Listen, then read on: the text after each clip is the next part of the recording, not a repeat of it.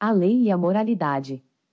Afirmam que há pessoas que não têm moralidade nem religião e recorrem à lei.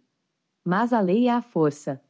É necessário apontar o quanto é violento e infrutífero usar a força em questões de moralidade e religião? Poderia parecer que os socialistas, a despeito de sua presunção, não deixam de perceber a monstruosa expoliação legal que resulta de tais sistemas e de tais esforços. Mas o que fazem eles?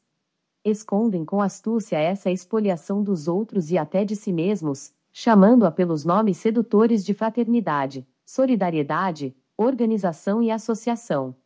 Por que exigimos tão pouco da lei, apenas justiça? Eles pressupõem que rejeitamos a fraternidade, a solidariedade, a organização e a associação e nos rotulam de individualistas.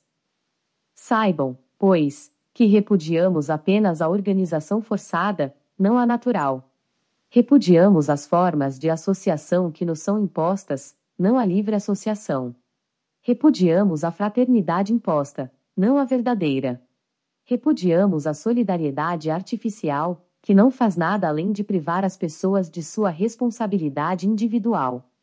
Não repudiamos a solidariedade natural, que existe nos homens graças à providência.